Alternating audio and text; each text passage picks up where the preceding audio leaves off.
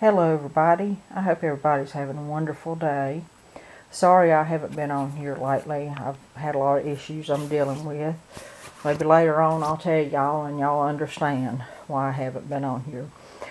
But today to have a happy video, a short video. I love thrift hauls and love to watch those. So here's one that I had done. And I've had this for a good while. I don't think I've shown it yet. But I got this beautiful sweater here, black with the beautiful embroidery flowers, and it's from Casual Corner Annex. And I gave $7 for it, which I thought was, a, you know, um, high price in it being from a thrift store. But it's brand new. Still got the tag, and look how much it was. Brand new, $44.99. Still had uh, the extra button with it. So I decided to get it. I thought this would be so beautiful to wear in early spring or summer on a cold, rainy Sunday to church with a black skirt. I just thought it was beautiful. Or a white skirt. Or even um, uh, black jeans or something like that. And the next thing I got, you know I love vintage items as well and home decor.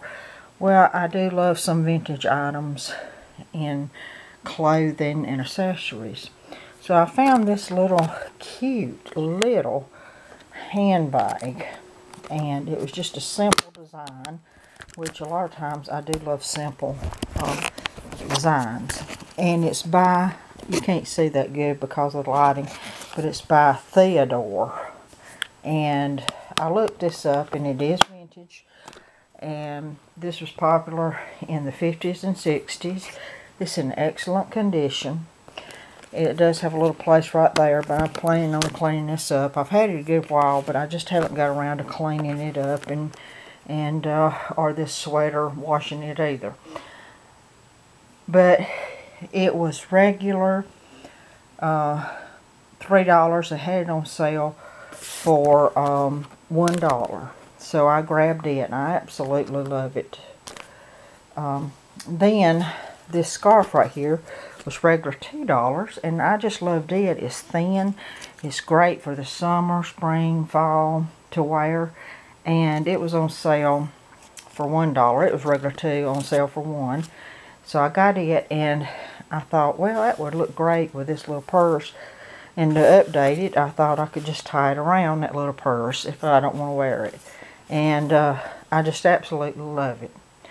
So, everybody, I hope y'all are doing well and are happy and uh, are just living the life you want to live.